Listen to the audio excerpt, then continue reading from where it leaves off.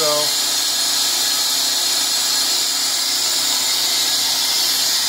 You say this one has had the spindle rebuilt? Yeah. How long ago was that? Mm, less than a year. Less than a year? No problems with it? It runs smooth and quiet and everything?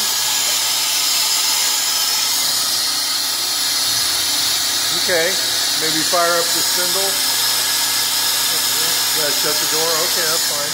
I can get it through the door, I think.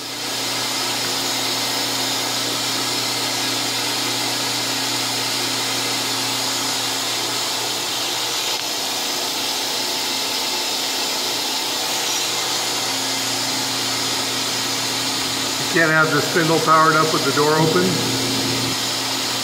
That'll shut off Really?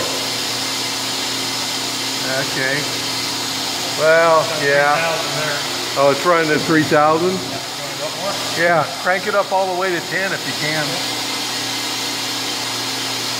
I mean, it's through the door, but maybe we can at least, yeah, it seems pretty quiet. Oh, there we go. At least I can hear it. Yeah.